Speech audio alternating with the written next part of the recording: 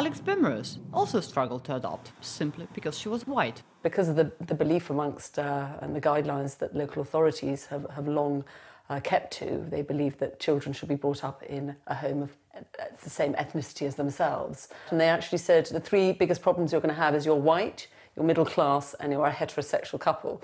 So we looked at a number of different countries, um, ended up uh, going to Guatemala and approaching them with a view to adopting a child um, or siblings from there. And eventually, we were able to adopt Jose. Um, we brought him home at 11 months.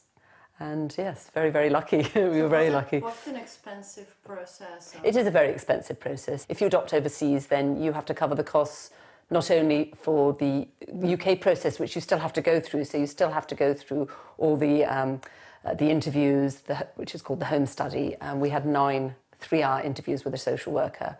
Um, and then after that, you go to panel, uh, where there was a, I think it was 16, 14 or 16 um, panel judges sitting around a table, and they look at the report that the social worker has drawn up and ask you various other questions. Terrifying process.